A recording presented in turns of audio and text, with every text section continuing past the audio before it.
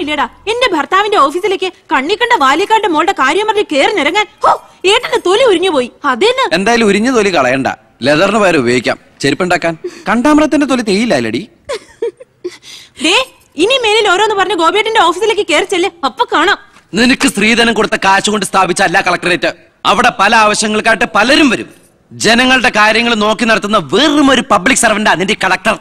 ആ സേവനത്തിന് ജനങ്ങളിൽ നിന്ന് തന്നെ കരം പിരിച്ചെടുത്ത് മാസം മാസം സർക്കാർ ശമ്പളമായിട്ട് നൽകുന്നുണ്ട്. പിന്നെ ഞാൻ അവിടെ ചെന്നാലെന്താ എന്നെ പിടിച്ച് മൂക്കി കയറ്റി എന്താ?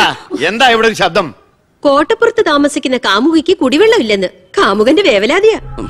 മിനറൽ വാട്ടർ കുളിക്കുന്ന നിങ്ങൾക്കൊന്നും കുടിവെള്ളത്തിന്റെ വില മനസ്സിലാവില്ല. കണ്ടില്ലേ അച്ഛാ? വാലിക്കാരിയുടെ മകളെ പറ്റി പറഞ്ഞേനാ. ഇത്ര ചൊടിപ്പ്. അതെങ്ങനെയാ? മൊട്ടേന്ന് വിരിയുന്നതിന് മുമ്പ് എഴുത്തു കൊടുത്തവനല്ലേ നീ? ഈ കണക്കിന് അവളെയും കിട്ടി നീ ഈ കുടുംബത്തിൽ കയറി വരില്ലെന്ന് എന്തോ ഉറപ്പ്? ഒരു ഉറപ്പില്ല സംഭവിക്കാം. നിന്നോടൊരു കാര്യം പറയാനിരിക്കായിരുന്നു. കോട്ടപ്പുറം കോള കമ്പനിയുടെ കാര്യത്തിൽ നീ ഇടപെടണ്ട. ഇടപെടാതിരിക്കാം. ആ കമ്പനി അവിടുന്ന് മാറ്റി സ്ഥാപിക്കണം. പുതിയ പ്ലാന്റിന്റെ ഉദ്ഘാടനം നടക്കാനും പാടില്ല. നിന്നെ പോലുള്ള പേട്ട് രാഷ്ട്രീയക്കാരും പ്രതിപക്ഷവും ഒന്നിച്ചിടപെട്ടാ പോലും പുതിയ പ്ലാന്റിന്റെ ഉദ്ഘാടനം ഞാൻ നടത്തും. ചന്ദനക്കാട്ടിൽ ബാലഗംഗാധര മേനോന്റെ മകനാണ് ഈ ഞാനെങ്കിൽ ആ ഉദ്ഘാടനം നടക്കില്ല. നിനക്കൊരു ചുക്കും ചെയ്യാനൊക്കെടാ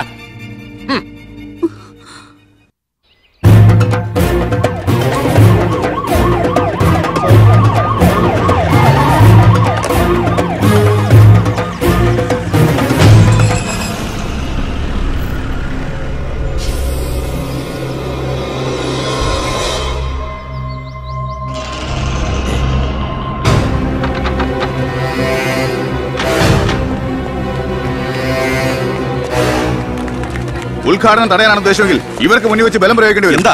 എന്താ പ്രശ്നം? ഉണ്ണി ഈ ഉദ്ഘാടനം മുടക്കരുത്. ഞാനല്ലല്ലോ മുടക്കുന്നത് കോടതിയല്ലേ? എക്സ്ക്യൂസ് മീ ഇനി ഒരു ഉത്തരവ് ഉണ്ടാവുന്നവരെ കമ്പനിയുടെ ഉദ്ഘാടനവും പ്രവർത്തനവും നിരോധിച്ചുകൊണ്ടുള്ള ഹൈക്കോടതിയുടെ സ്റ്റേ ഓർഡർ. മന്ത്രിക്ക് മേൽ പരുന്തും പറക്കില്ലെന്ന് സാർ കരുതിയെങ്കിൽ തെറ്റി. ലെജിസ്ലേറ്റീവിനേക്കാൾ പവർ ജുഡീഷ്യറിക്ക എക്സിക്യൂട്ടീവ് മജിസ്ട്രേറ്റിന്റെ അധികാരമുള്ള ഈ ജില്ലാ കളക്ടർ ഇടയ്ക്ക് ഇതൊക്കെ ഒന്ന് പറഞ്ഞ് മനസ്സിലാക്കി കൊടുക്കണം. പിന്നെ കുറച്ചു പേർക്ക് തൊഴിൽ കൊടുക്കുന്ന ഏത് സംരംഭങ്ങൾക്കും ഞങ്ങൾ എതിരല്ല പക്ഷെ അതിവിടുത്തെ മണ്ണും ജലവും എന്തിനെ ശ്വസിക്കുന്ന വായു പോലും മലിനപ്പെടുത്തിക്കൊണ്ട് ഒരു ബഹുരാഷ്ട്ര കുത്തയ്ക്കും തീരെ എഴുതി കൊടുക്കാൻ ഞങ്ങൾ അനുവദിക്കില്ല. കുടിവെള്ളം ജനങ്ങളുടെ അവകാശമാണ്. അത് പെപ്കോ കോളയുടെ ഔദാര്യമല്ല.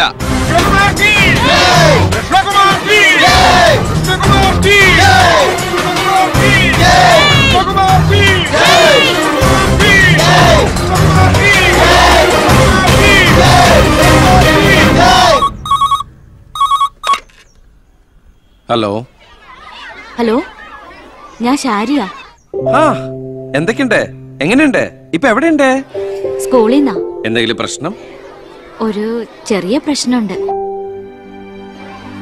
ഒരു കാര്യം പറയാനായിട്ട് എങ്ങനെ പറയണ്ടേന്നറിയില്ല. ഒന്ന് നേരിട്ട് കാണാൻ പറ്റുമോ നേരിട്ട് കാണാൻ പറ്റുമെന്നോ എപ്പ കണ്ടെന്ന് ചോദിച്ചാ പോരെ?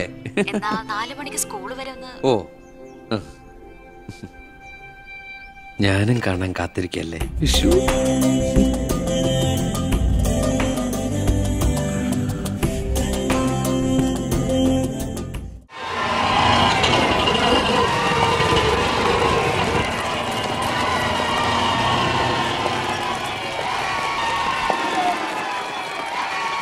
നീ പൊക്കോ? ഓ.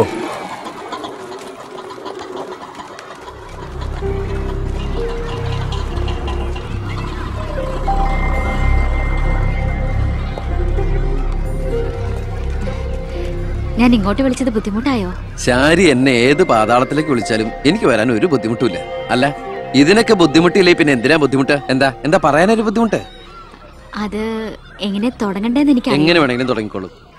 അല്ല ഒരാൾ മറ്റൊരാളെ സ്നേഹിക്കാന്ന് പറയണത് തെറ്റാന്ന് എനിക്ക് തോന്നിയിട്ടില്ല. അതിപ്പോ തെറ്റാന്ന് ആരാ പറഞ്ഞേ? ആരാ പറഞ്ഞെന്ന്? അപ്പൊ തെറ്റല്ലല്ലോ? ഈ ഇഷ്ടം പ്രേമെന്നൊക്കെ പറയണത് പവിത്രമാണ് പരിഭാവനമാണ്. അതിന് പ്രായവും പരിമിതികളൊന്നും ഒരു പ്രശ്നമല്ല. സ്നേഹമാണ് അഖിലസാരമൂഴിയിൽ എന്ന് കുമാരനാശൻ പറഞ്ഞിട്ടില്ലേ? മനസ്സുകൾ തമ്മിലുള്ള ഐക്യം പൊരുത്തം പിന്നെ പരസ്പരം മനസ്സിലാക്കാനുള്ള പക്വത അത് മതി പരിശുദ്ധമായ പ്രണയത്തിന്. എനിക്കും അത്രയൊക്കെ തോന്നിയിട്ടുള്ളൂ. പക്ഷേ പാവപ്പെട്ടവരും പണക്കാരും തമ്മിലുള്ള അന്തരെന്നൊക്കെ പറഞ്ഞ എന്ത് അന്തരം? പോവാൻ പറയണം.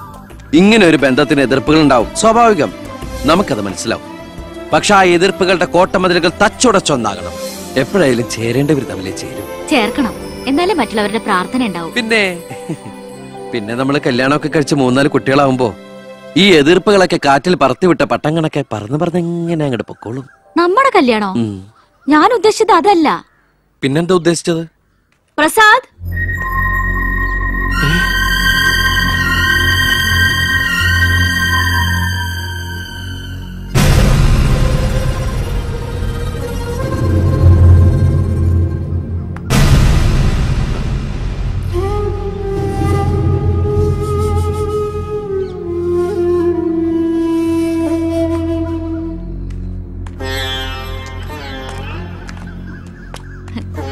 ഇത് പ്രസാദ്. ഈ സ്കൂളിലെ മാഷ. ഹലോ. ഇവക്ക് ഭയങ്കര പേടിയായിരുന്നു. ഏട്ടന്റെ നല്ല മനസ്സാണ് പറഞ്ഞാ മനസ്സിലാവുന്നൊക്കെ ഞാനാ പറഞ്ഞത്. ഇപ്പൊ സന്തോഷായില്ലേ? മീനോട്ടി എന്താ ഇത്? എന്നാലും നീ? സുഹൃത്തുക്കളായിരുന്നു. പിന്നീട് അടുത്തു പോയി. പിരിയാൻ പറ്റണില്ല. ഒരുപക്ഷെ ഏട്ടൻ അറിഞ്ഞിട്ടുണ്ടാവില്ല. വീട്ടിൽ എനിക്കൊരു കല്യാണാലോചന നടക്കുന്ന കാര്യം. ഏതാണ്ട് ഉറപ്പിച്ച പോലെ. അച്ഛൻ ഐ എസുകാരെ ഐ പി എസുകാരെ വീട്ടിൽ നിറയ്ക്കാനുള്ള ശ്രമത്തില. പക്ഷെ എന്റെ ഇഷ്ടം അറിയാൻ ആർക്കും താല്പര്യമില്ല. ചോദിച്ചിട്ടില്ല ഒരു വാക്ക് പോലും ആരും. എനിക്കിപ്പോ പറയാൻ ഏട്ടം മാത്രമേ ഉള്ളൂ.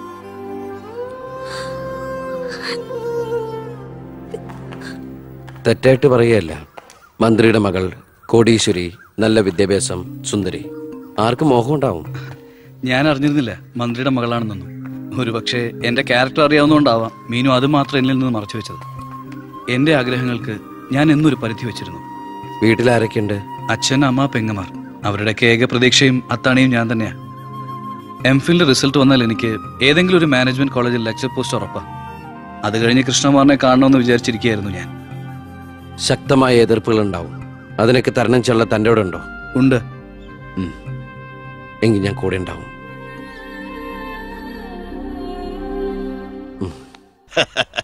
ആ ദേ വരുന്ന എന്റെ ഒരേ ഒരു സൽപുത്രൻ. നാട് ഭരിക്കുന്ന മന്ത്രിയൊക്കെ നാട് ഭരിച്ചാലല്ലേ തിരക്കറിയാൻ പറ്റും. അല്ല ഞാൻ മോനെയാണ് ഉദ്ദേശിച്ചത്. നേരെ അടുക്കളയിലോട്ട് പോവാന്നോ? ഇവിടെ നടക്കുന്ന ചടങ്ങ് എന്താണെന്ന് മനസ്സിലായോ? മീനൂട്ടിയുടെ കല്യാണം ഉറപ്പിക്കുക. ഓ അത് ശരി. ഞാനും വിചാരിച്ചു എന്താണ് ഇവിടെ എസ് പി ഒരു ബിസിനസ് എന്ന് എന്നിട്ട് കച്ചവടം ഉറപ്പിച്ചോ? ഇപ്പൊ ഉറപ്പിക്കും. ആ. Hello I am Harindran from Singapore ഏയ് ഒരു ആ മിനിറ്റ് ഇനി ഹരീന്ദ്രൻ സാർ ഇരിക്കുക. അല്ല ചുമ്മാ കയറി നിൽക്കണ്ടല്ലോ ഈ കല്യാണം നടക്കില്ല. അവൾക്ക് വേറെ ചെറുപ്പക്കാരൻ ഇഷ്ട. പയ്യൻ കോട്ടപ്പുറ സ്കൂളിലെ മാഷ പേര് പ്രസാദ്.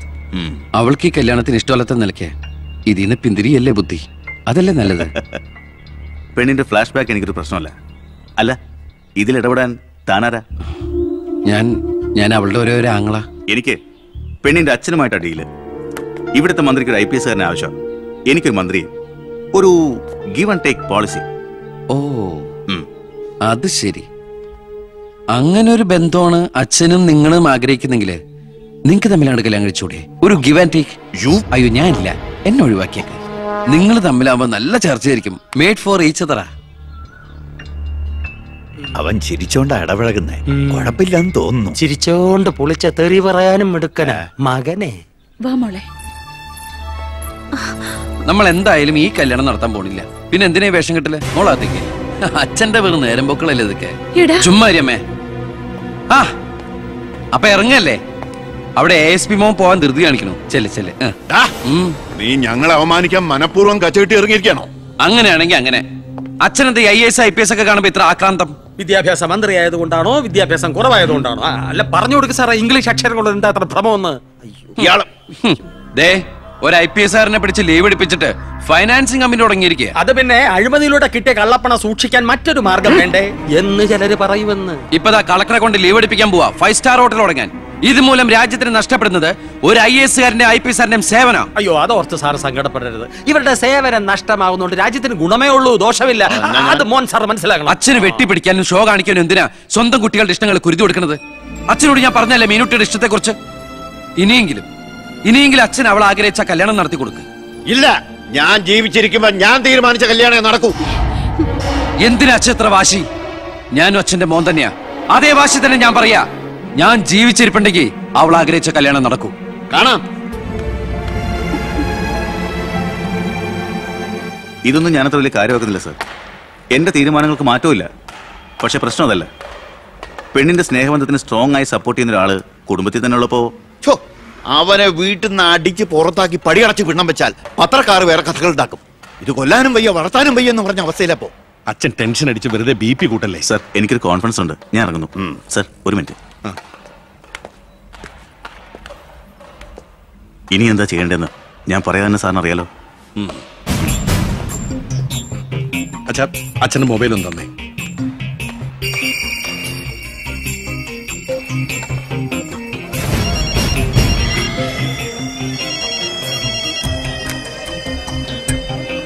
ഹലോ.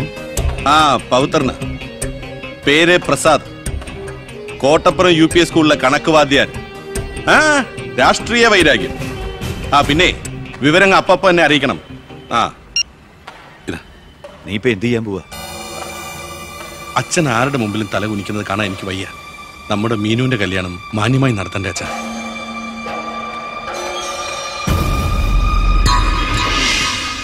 ഇപ്പൊ പോയിക്കോ. നമുക്ക് വൈകുന്നേരം അമ്പലത്തിൽ വെച്ച് കാണാം. അമ്പലത്തിൽ വരുമ്പോ പറയും ലൈബ്രറിയിൽ വെച്ച് കാണാന്ന്. ലൈബ്രറിയിൽ വരുമ്പോ പറയും പ്ലീസ് ഇത് സ്കൂളാണ്. ആണോ? ഞാൻ വിചാരിച്ചു മാർക്കറ്റ് ആണെന്ന് ദേ ഞാനൊരു കാര്യം പറയാം. എന്റെ കല്യാണം ഉറപ്പിച്ചു. ഉറപ്പിച്ചല്ലേ ഉള്ളൂ. കഴിഞ്ഞിട്ടില്ലല്ലോ. അന്ന് കളിയാക്കി വിളിച്ച ഇനി ഇങ്ങനെ ഒഴപ്പാൻ തന്നെയാണ് പ്ലാനെങ്കിൽ ഞാൻ അയാളെ കെട്ടി അങ്ങ് പോവും. ഓ ആയിക്കോട്ടെ. എന്നിട്ടേ ഞങ്ങൾക്ക് ഉണ്ടാവുന്ന കുട്ടിയെ ഞാൻ ഇവിടെ തന്നെ പഠിപ്പിക്കും. എന്നിട്ട് കൊച്ചിനെ നോക്കി പറഞ്ഞാ മതി. എനിക്ക് പിറക്കാതെ പോയ മകനാണല്ലോ നീ എന്ന് കേട്ടോ? മീനൂട്ടി. എനിക്ക് വേറെ പണിയുണ്ട് ഞാൻ പോവാ. ഓ ഇങ്ങനെ ഒരു മണിക്കൂസിനെയാണല്ലോ ഈശ്വര ഞാൻ സ്നേഹിച്ചത്. ഇന്ത്യയുടെ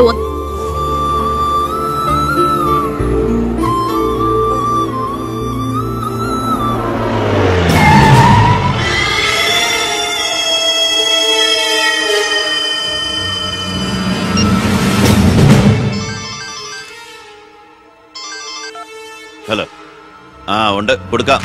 പവിത്ര എന്തോ? നിനക്ക. ഹലോ? സാറല്ലേ? ഞങ്ങൾ സ്കൂളിലെത്തി. ആ. ഇനി ഈ നമ്പറിലേക്ക് വിളിക്കണ്ട. ആ ശരി ശരി okay. Plus nine equal to twenty five ഇനി എല്ലാവരും എഴുതിയെടുത്തോളൂ.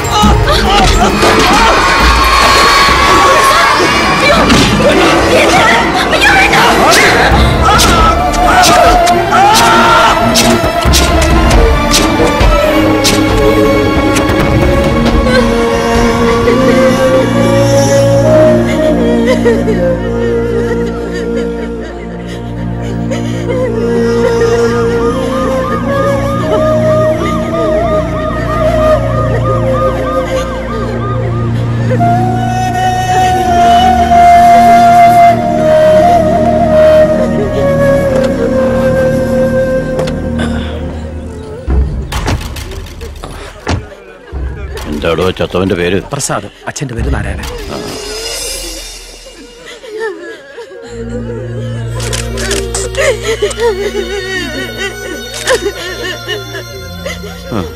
പ്രസാദിന്റെ അച്ഛൻ. ഞാനാണ് കേട്ടാ. പ്രസാദ് എപ്പോഴും പറയുമായിരുന്നു അച്ഛനെ കുറിച്ച് വിഷമിക്കരുത്